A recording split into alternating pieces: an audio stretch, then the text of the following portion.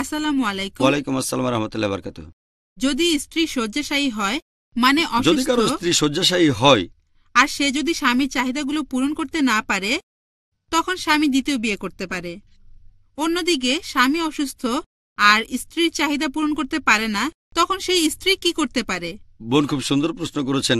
যদি কারও স্ত্রী শয্যাশায়ী হয় যদি স্ত্রী দায়িত্ব পালন করতে না পারে চাহিদা মেটাতে না পারে তখন স্বামী আরেকজন মহিলাকে বিয়ে করতে পারেন। তবে এর উল্টোটা, যদি স্বামী শয্যাশায়ী হয়, স্ত্রী নতুন স্বামী গ্রহণ করতে পারবে না, কেন? খুব সুন্দর প্রশ্ন। এক নম্বর পয়েন্ট, স্ত্রী যদি শয্যাশায়ী হয়, স্বামী যেটা করতে পারে, তাকে ডিভোর্স দিয়ে আরেকটা বিয়ে করবে।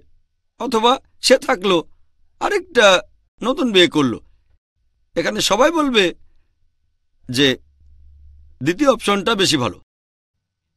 যে, প্রথম স্ত্রী, সে থাকল, সেও এখানে সুবিচার পাবে। সময় দিতে হবে। বলতে পারবে না, আমার সময় নেই।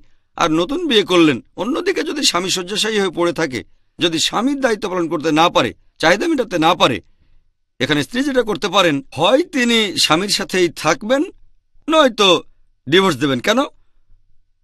যদি তিনি ডিভোর্স না দিয়ে নতুন কাউকে বিয়ে করলেন আর প্রথম স্বামীও থাকল গ্যারান্টি দিতে পারবেন না যে প্রথম স্বামী সুস্থ হবে না। সুস্থ করবে না আল্লাহ তালা যদি কালি সুস্থ হয়ে যায় তাহলে? এরকম অবস্থা হলে তখন কি হবে? সমস্যা। তাই অপশন হলো, হয় স্বামীর সাথেই থাকবেন, নিজের চাহিদা ত্যাগ করেন অথবা ডিভোর্স দেন। কারণ যদি একজন শয্যাশায়ী পুরুষকে ডিভোর্স দেন, সে আরেকজন স্ত্রী পেতে পারে।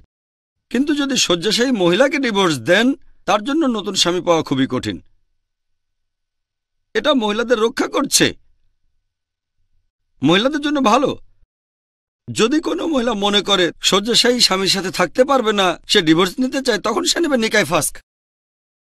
যদি সে বলে, না, আমি সব পেতে চাই, আমার স্বামীর সাথে থাকব আমি, অন্য চাহিদাগুলো ত্যাগ করব, যাতে করে আমি জান্নাতে যেতে পারি, আলহামদুলিল্লাহ। যদি সে বলে, আমি আর পারছি না, আমারও সীমাবদ্ধতা আছে, তখন ডিভোর্স দেওয়ার অনুমতি আছে।